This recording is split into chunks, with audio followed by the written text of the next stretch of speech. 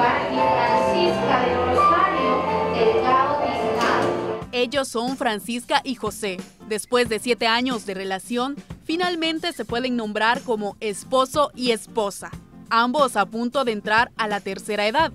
Pero eso no fue impedimento para darse el sí frente a las autoridades legales. Nos comentan la satisfacción que sienten al estar casados. Nosotros nos hemos casado primeramente para servirle a Dios, porque perseveramos gracias al Señor. Siento feliz de, de que, pues sí, de que tener a mi futura esposa, que la amo mucho y que Dios nos siga ayudando hasta que los muramos.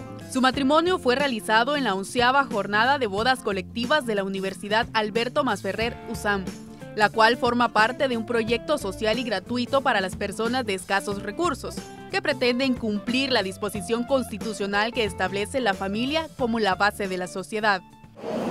Señoritas, procedan a la entrega de los anillos a los caballeros. Un aplauso, por favor. Los matrimonios colectivos son una jornada que ahora está llegando a sus 11 años de venirse realizando. Estamos hablando de más de mil personas que, hemos logrado solventarle su situación y unirlos en matrimonio civil. 37 parejas más contrajeron matrimonio gracias a esta iniciativa. Entre ellas se encuentran un par de enamorados de la tercera edad, Silvia y Juan, quienes llevan más de 24 años de relación sentimental y por la importancia de la ocasión se vistieron ambos de gala para asistir al evento que recordarán por el resto de sus días. Agradecido con Dios y con todos de poder formalizar un hogar formal, ¿verdad?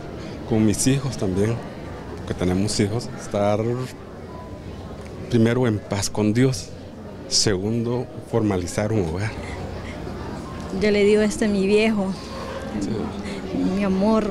Y ahora ellos este, han querido solventar su situación de esta forma y nosotros con mucho gusto los acompañamos. En la actividad participaron estudiantes de la Facultad de Ciencias Jurídicas de la USAM, quienes contribuyeron a la elaboración de las actas y escrituras que fueron firmadas por las parejas.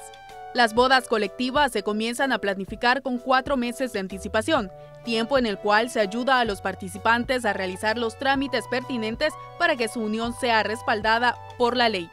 Carla Torres, TCS Noticias.